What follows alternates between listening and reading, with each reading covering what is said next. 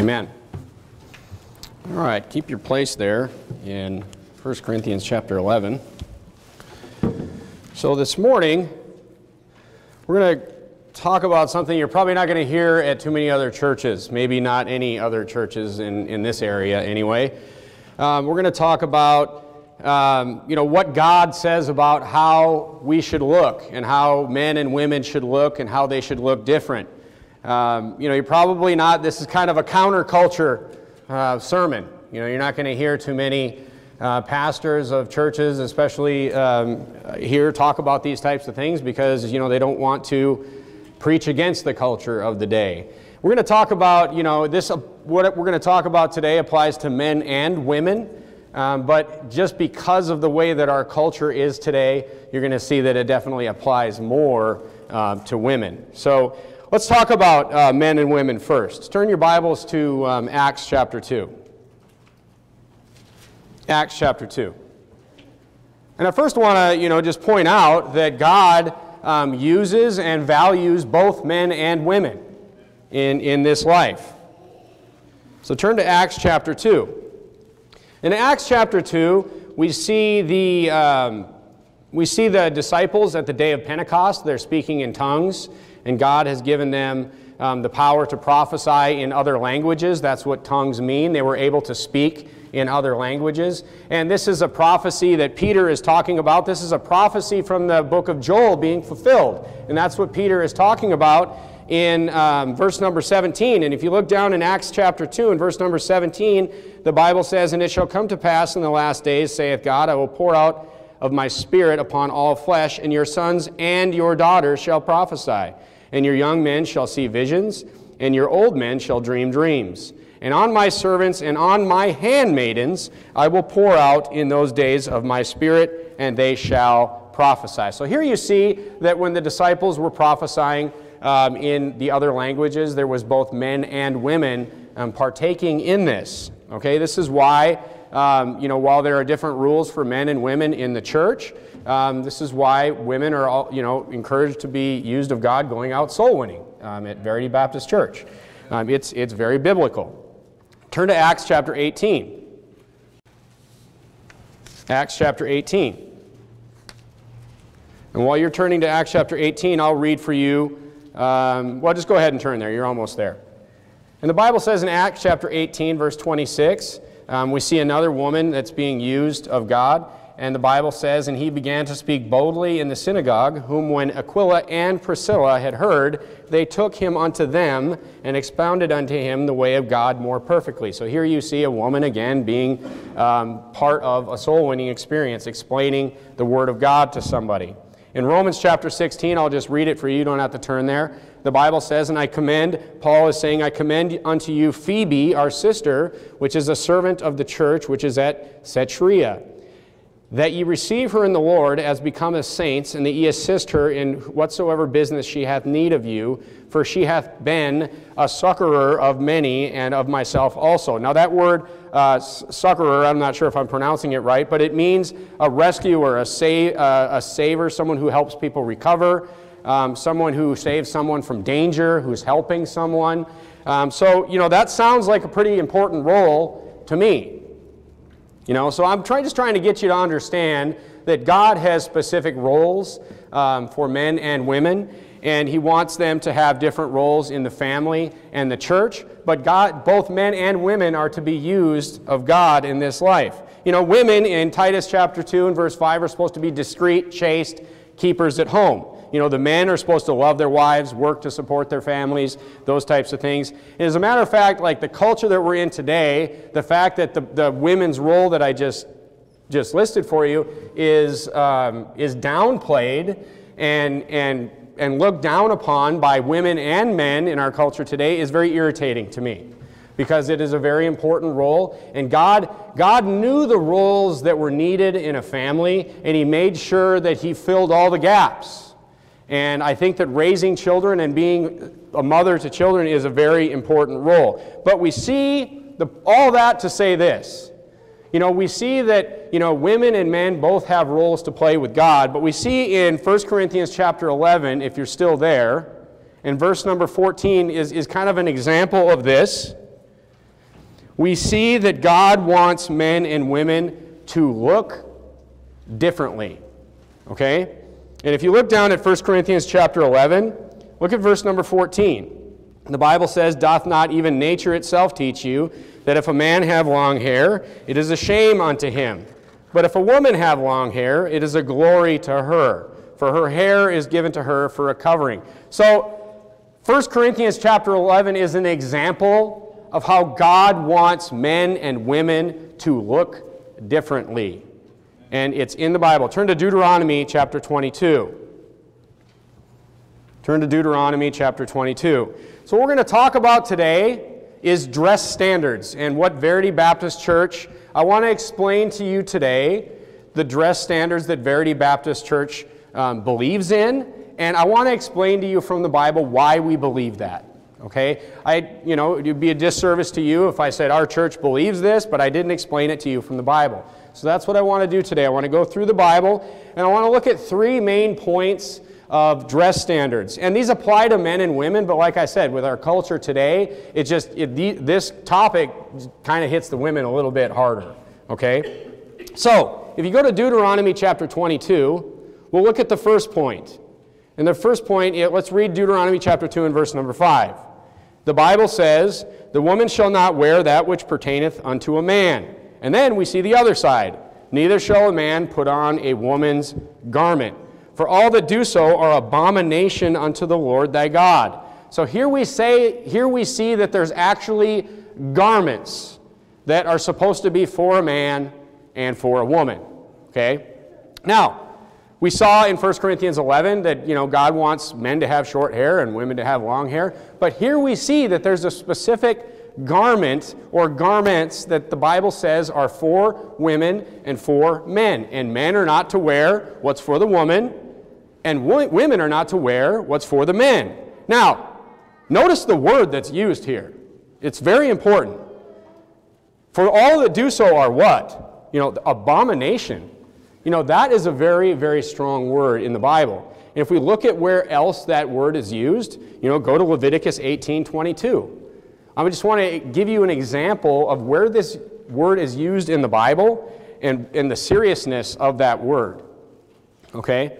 So men and women are to have different clothing, we see in, in Deuteronomy 22 and verse number 5. And if you look at Leviticus 18 22, another example of um, abomination, the Bible says, Thou shalt not lie with mankind as with womankind. It is abomination. This is talking about, you know, homosexuality. That's, that's abomination. You know, you know how God, how seriously God takes that sin? God uses that same word to talk about the clothing of, you know, men and women together. In Proverbs chapter 6, in verse 16, open your Bible right in the center, you'll be in the book of Psalms. Go one book over and you'll be in the book of Proverbs. We see another example. And I want to show to you, you know, I took you to Leviticus 18 for a reason. I want to show you that there's actually a tie between Deuteronomy 22, verse 5, and Leviticus 18. In Proverbs 6, let's look at another example of the word abomination. Look at verse number 16. These six things doth the Lord hate. So here we see the Lord hates these things. We see the word hate, that the Lord hates it, kind of used in um, uh, conjunction with this word abomination. And he says, Yea, seven are an abomination unto him a proud look, a lying tongue, and hands that shed innocent blood, and heart that devises wicked imaginations, feet that be swift in running to mischief a false witness that speaketh lies, and he that soweth discord amongst brethren. So look, when the God uses this word abomination, it's serious. You know, he's not, he's, it's, it's a very serious word. So, what is the garment? There's a number of different ways to, to prove this and to show this. But I want to show you, just from society itself, I want to let you know that even our society itself knows what this garment is, okay? I pulled a, a historical article about, you know, the history of, of, you know, women's clothing and men's clothing in the last hundred years or so. And I just want to read a snippet of that from you, for you. Society, our society especially, has always known what this garment is. And this article from uh, PBS.com or something says this. It says, during World War II, from 1939 to 1945, pants were more widely worn by civilian and military women, both at work and socially. They're referring to when women started to wear pants in the United States. Although women continued to enjoy wearing pants after the war, particularly for sports and leisure, style trends for women remained fixated largely on skirts or dresses until the 60s or 70s. Then, buoyed by the women's rights movement, pants became firmly established as popular and appropriate clothing options for women at home, in public, and many workplaces. Now, here's something that's interesting. There were actually cross dressing laws in the United States up until like 1974. Meaning that if you know, a woman was outside the house with, you know, a uh, not in a dress wearing pants, that she could actually be arrested. Now, I'm not saying that that's, you know, the position, but I'm just saying this is where our culture came from and where they are today. The last one was overturned in 1974. And you can read many stories in the early to mid 1900s about women being arrested, you know, for, for going into pu in public with pants, wearing pants. Um, you know, but what I would encourage you to do is go look at the pictures of these women and who were, who were you know, leading this charge in our culture today. And what you'll see is because, see, there was no women's pants back in 1910. So you literally had women dressing exactly like a man. Okay, we'll address the women's pants thing here uh, in, on the third point. But you basically, this whole thing was spearheaded by a certain type of woman. Okay, and you look at these women and they're short haired and they're dressing like men. These were, you know, homosexuals largely were driving um, this movement. Okay, so it was not Christian moms pushing um, this movement. Let's put it that way. All right, you say, I, I don't believe you. Well, let me read you the sources for this PBS article that I read. The sources, the, the bibliography at the end of this article, it said that this is, these are the sources that they used. Transgender History by Susan Stryker. And Susan Stryker is like, I think it didn't used to be Susan, let's put it that way. Some kind of, some queer trans forming something. I'm not even sure what I'm looking at when I looked up Susan Stryker. I quickly closed the, the window. Gay law, challenging the apartheid of the closet. Cross dressing in the criminal by Bennett Capers. Cross dressing case for bathroom equality. Does that sound like it's good, going anywhere good? And then transgender history and geography, cross dressing in context, third volume. This is the, the, the people that were driving this cultural change in the United States. And the funny thing is, is that it wasn't that long ago that you know, if you're a 60 plus year old baby boomer, you remember a time in the United States where women largely um, wore dresses. That's what they wore, skirts. Women did not wear pants in public. And, or, you know, in general, it was just socially, you know, unacceptable. We've, you know, if you're my age or younger than probably 60 or 65 years old, you don't even remember a time when that was the case. But this is the case. This is another one of those social, um, you know, slopes that we're sliding down. And we shouldn't be any part of it. But I'm going to show you from the Bible, okay? Now, we see that pants are a man's garment, all right? You say, well, um, what about the men? So let me ask you a question. Halloween is coming up. Halloween is coming up, and when you have a man that wants to be funny and dress like a woman at Halloween, what's he going to wear? He's going to wear a dress. Okay, everybody knows that it's dresses versus pants. Okay, so what's happening today, you know, basically in the, with women today, what's happening is the equivalent of Christian men walking around wearing dresses. That's basically what you have. Okay, and that's what's going on. When we look at the origins of this movement, we should stay as far away from these type of people as possible as Christians. Okay? So, Let's look at point number two. So we see that there's a garment that's for a man and a garment that's for a woman. Even the bathroom signs know what this garment is. We were in Taiwan and we saw a bathroom sign. I have a picture of it somewhere where it's uh, like, you know, you have the woman with the dress, you know, the little stick figure with the dress, and it's like cut in half, and then you got like the man, you know, just with the pant on one side and the dress on the other side. But that means that anybody can go in that bathroom because this is the bathroom equality movement right? And it's all part of this, okay? Turn to Exodus 28. Let's look at point number two. Exodus chapter 28. Point number two is this that we are to cover our nakedness, both men and women. We are to cover what the Bible calls our nakedness. Now, what is your nakedness? The Bible actually gives very specific instructions to what your nakedness is. And in Exodus 28, verse number 42, the Bible reads, And thou shalt make them linen breeches to cover their nakedness. From the loins even unto the thighs they shall reach. So the definition of your loins is basically the bottom of your ribs, where your ribs stop, like, you know, your waistline almost. And it's your loins is, you know, kind of your pelvic area. Obviously, everybody knows this, but even unto the thighs. So your thighs are the upper part of your leg at the, you know, ending at the knee. So that's what the Bible calls your nakedness. So the Bible says that if you are in short shorts showing your thighs, you are considered showing your nakedness. That's what the Bible says. Now, I believe, now this is kind of Jared's opinion land again, but I believe when the Bible, you know, you could say um, when the Bible calls, you know, someone naked, it could be that they were uncovering any one of those parts of their body. Okay, turn to John um, 21 and verse 7. And this is my basis for thinking this. So I could basically consider someone who has their thighs uncovered, it would not be a wrong statement for, to, for me to say that they are naked. Okay? Even though that, you know, they're not completely naked. All right? In verse, uh, John verse 20, uh, chapter 21 and verse number 7, we see um, some guys fishing together here, and they see Jesus, and the Bible says, Therefore that disciple who loved Jesus said unto Peter, It is the Lord.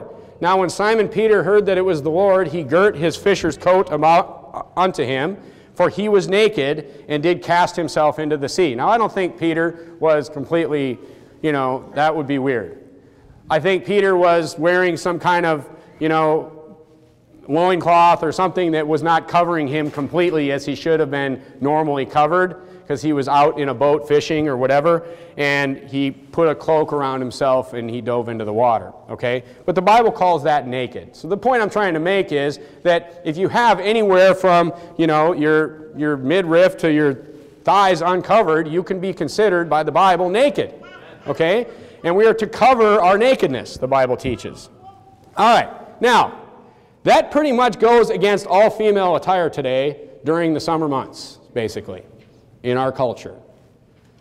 You know, especially things like swimwear, workout wear, whatever. I mean, look, I would love to join a gym and like have access to all these awesome pieces of equipment and all this kind of stuff, but I just can't do it as a Christian man. It would not be right for me to do it because there's naked people there. See? So everyone's not obviously going to follow these standards, you know, but we need to know what the standards are. All right? So we know what naked means.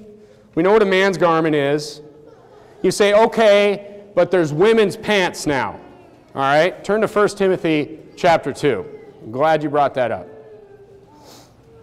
You say before they were wearing man's pants and it was a man's clothing, but now there's women's pants. So let's take a look at that and what the Bible says in 1 Timothy chapter 2.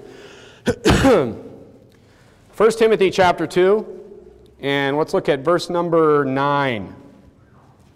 And the Bible here says, In like manner also that women adorn themselves in modest apparel, with shamefacedness and sobriety, not with broided hair or gold or pearls or costly array. So women, we see, are supposed to dress modestly. Okay? And that, you know, that means that they're supposed to be modest in how they dress. They're not supposed to flaunt, um, you know, riches and, and, and jewelry and everything. And I'm not against jewelry, but I mean over the top types things.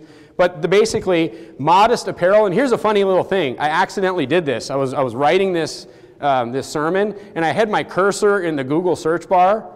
And instead of on my Word document, and I typed in modest apparel and I hit return. Search uh, modest apparel on Google. Even Google understands what modest apparel is. Up pops um, on all the tabs, shopping, um, all, whatever. It's all these women in these long, uh, you know, dresses. There's not one woman in pants when you, when you Google modest apparel. Isn't that funny that even Google understands that? You know, the wicked company Google understands what modest apparel is. So look, you know, don't, don't rule your life by what Google says, okay? I'm just, that was just an interesting thing that I did. Um, look, they're, they're basically all women in dresses below the knee. You don't even see anyone in, in short dresses when you do that, that little test, all right? So you say that there's women's pants now. None of them are modest. We all know this is true, and you know this is true. Basically, all women's pants are basically, you know, yoga pants. They're skin tight pants. They're not modest. It's, it's totally immodest. So you lose either way when you're looking at what the Bible actually says. You know, you have to cover your nakedness, you have to wear a woman's garment, and you have to be modest. That pretty much rules out, you know, a woman wearing pants and a man, just like it rules out a man wearing a dress. It's pretty much the same thing. Okay? I'm actually, uh, you know, a little bit surprised that women and, and girls today are comfortable walking around in what they're walking around in. It's, it's a little bit surprising to me um, because I know how my family dresses, and it's just, um, it's pretty bold. It's getting, it's getting bolder, it seems like. Now, so we see those three things. We see that there's a woman's um, garment, there's a man's garment, we see that we're to cover our nakedness, and we see that we're to be modest. And this goes for men too. But men just generally don't, you know, I mean, Christian men, I should say. Um, I, I, told my wife, I've said this to my wife several times when you go to San Francisco to the airport or something like that, the day is coming where men will be wearing yoga pants. And I, I'm sad to report that, but it's coming. I mean, it's uh, what I'm talking about is Christian men, you know, certainly at this point don't struggle in these types of areas as much, okay? So let me just talk about situational ethics, okay? So now we see those three things, and let me talk about situational ethics because we also don't believe in situational ethics at Verity Baptist Church because it's not found in the Bible. And what do I mean by situational e ethics? Would it be, here, here's an example, would it be socially acceptable today for a woman to walk around in downtown Fresno in her underwear? No. Yet, if she's located at a beach or somewhere where there's water or a swimming pool, it's totally fine, right? That's situational ethics, that in this case it's okay, but in this case it's not, okay? If it's wrong in one place, it's wrong everywhere. Let me read for you Exodus 28 42 again. And thou shalt make them linen breeches to cover their nakedness. From the loins even unto the thighs they shall reach, unless you're at the beach or the gym or at summertime in Central Valley, California. No, it's all the time. So we don't believe in situational ethics. If it's not modest, it's not modest anywhere. If it's nakedness, it's nakedness everywhere. And if it's an abomination, it's an abomination everywhere. Okay? So we don't believe in situational ethics, and we've been kind of programmed in this country to accept, you know, situational ethics in, in, the, in the, the, the popular culture out there. That's what we're programmed to accept. So let me just say this. This, what I'm explaining to you today, you know, this is Verity Baptist Church's you know, this is our position that we take on this issue. Okay? That's why I'm preaching the sermon this morning, so you can see why we take this position, where in the Bible we see, you know, these three points that lead us to this conclusion that ladies should dress in dresses, they should dress modestly, and that they should not uncover their nakedness, nor should, should men. But I understand, you know, that, you know, if you, you're, you're sitting here today and you're like, you're that church-only dress lady. You know, so let me just first say this. You know, we appreciate you, you know, eh, you know, conforming to our standards when you come here. We, you know, we appreciate that. And, you know, because this is really a personal issue, right? This is a personal issue that's between you and God. But here's the thing if you are that lady, if you are that lady, we appreciate you understanding our position on this and why we take that position. But if you are that lady, you know, just let me ask you a question. You know, God sees you at the grocery store. You know, God sees you, you know, at your home. You know, you do have an inconsistency there. And so that's something to think about.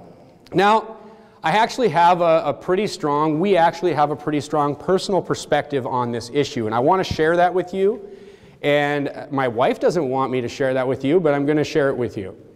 I interrogated my wife this week, okay? I talked to her, and I knew, you know, what we went through and when we went through things, but I just like, I really wanted to understand her path through this issue, and I really learned some, some new things this week, um, some depth. So, you know, guys, you should talk to your wives often. Because I, I, I just, every single time that I sit down and I have a conversation with my wife, this is, I just, it brings us closer together, and I, I just learned so many new things about her and about us and about our family. So take some time to talk to your wives. That's a little, little sidebar.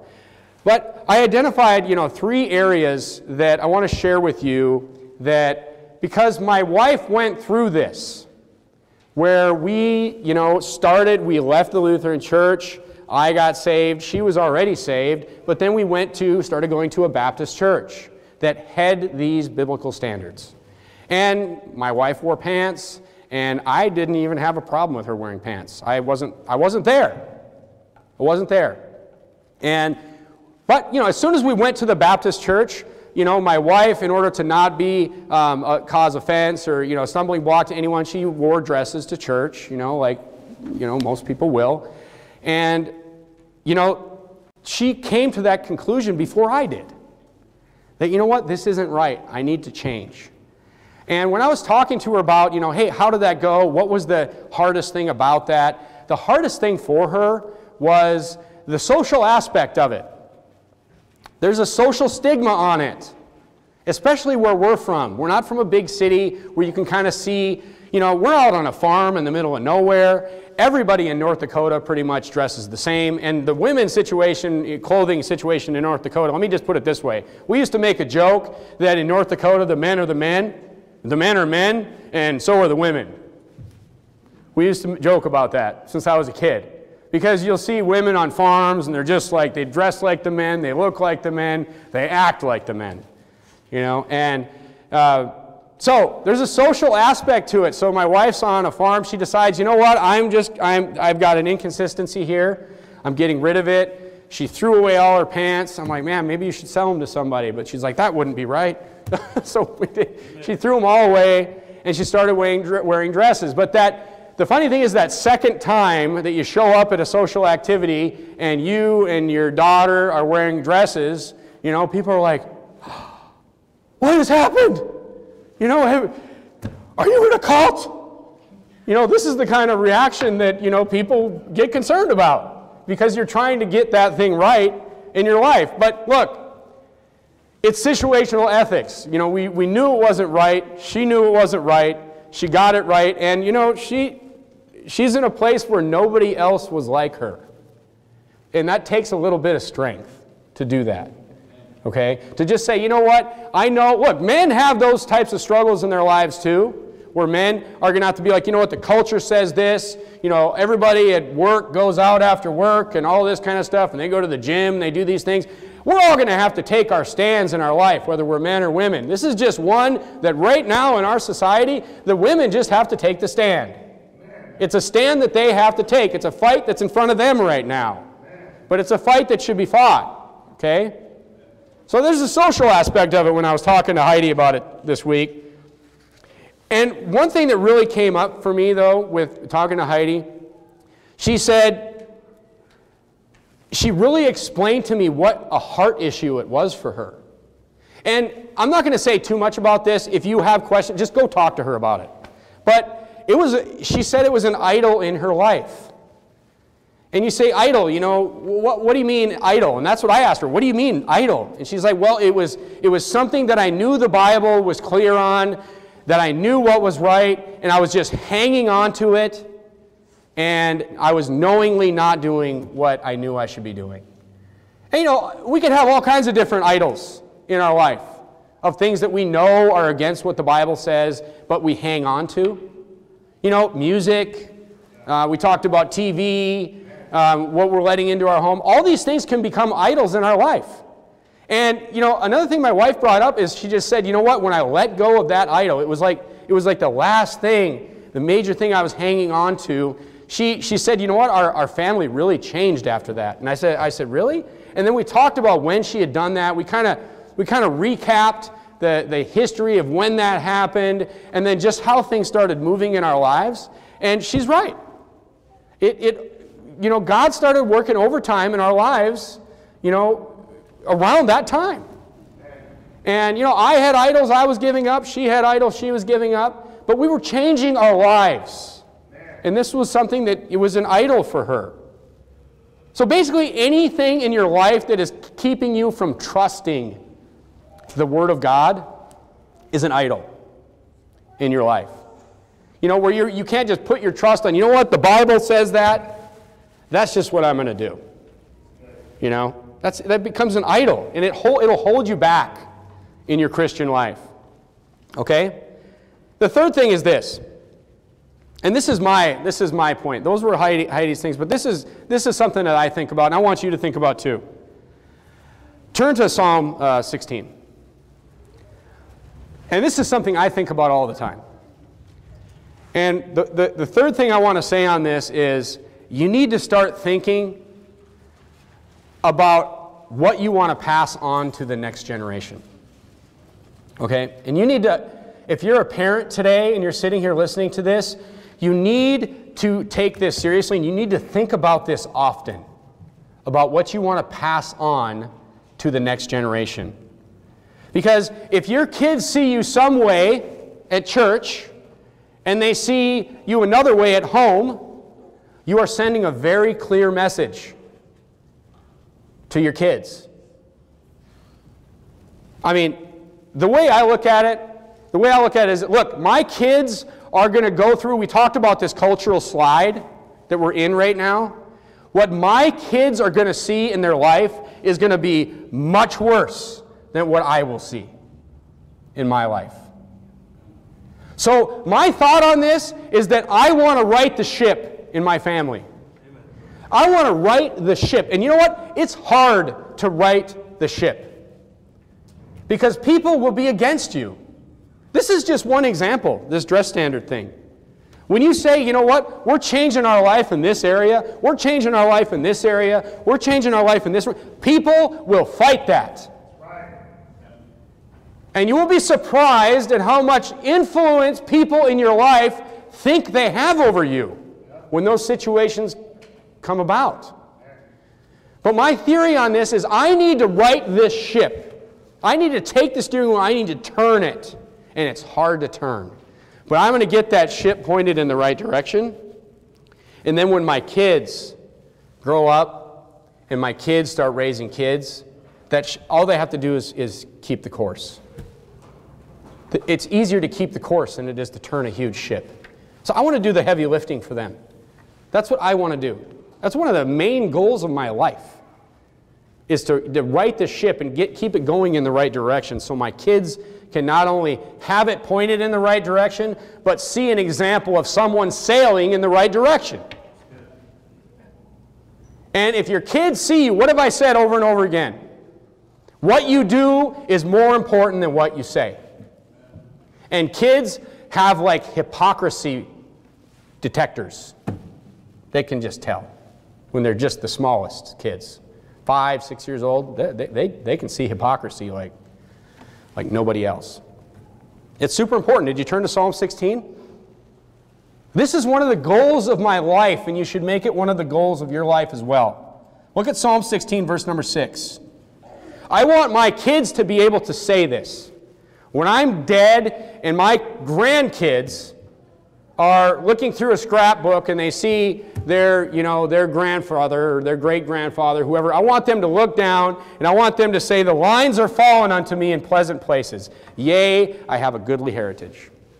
That's more important than money or land or anything I could ever give to my kids, is leaving them a goodly heritage, leaving them a, a ship that's sailing in the right direction, that I've shown them how to sail you got to go this way, and here's how it works, and here's what you do, and because they saw me doing it.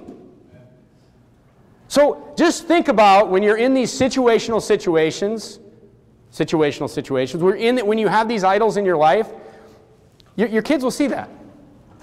You're sending a clear message there. Okay? So, You know, look, we love you all. And, you know, we're, we're, I'm here to tell you today what the, the, the stance of our church is and why it is that way. And like I said, if, if you have, you know, if you're not, you know, where we are, um, I, am trying to encourage you of what the Bible says. Um, and I'm trying to encourage you to, to get that ship righted in the right direction. Um, but, you know, we appreciate the fact that, you know, you're, you know, even if you are that situational person right now, we appreciate the fact that you're, um, you know, dressing the way you do, even if it's just at church, you know. So there, there's, there's positive there as well. But I want you to think about today, just men and women.